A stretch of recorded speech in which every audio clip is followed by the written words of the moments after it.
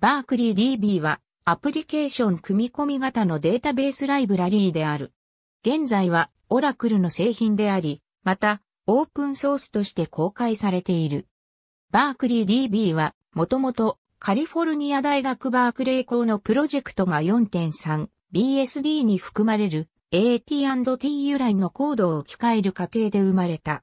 その後、開発者によって設立された 3PCAT ソフトウェアが開発、販売を手掛けていた。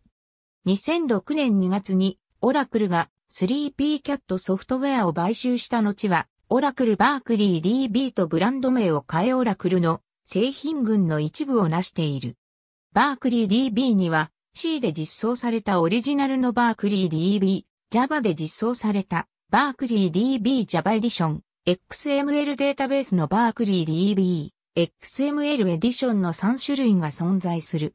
いずれもオープンソースとして公開されているが、その用途に応じて、オープンソースライセンスと商用用途向けライセンスを選択できる、デュアルライセンス方式をとっている。いわゆるリレーショナルデータベースではない。オリジナルのバークリー DB は、ユニックスに古くから含まれていた DBM より発展したアプリケーション組み込み型データベースである。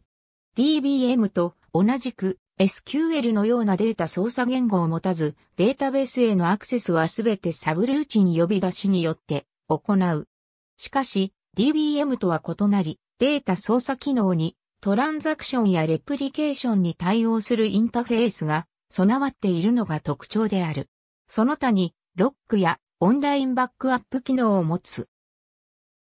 バークリー DB 本体が対応するプログラミング言語は C 及び C だけだが、Perl、Python、TCL 他多くの言語にバインディングが用意されており、それらから容易に利用することができる。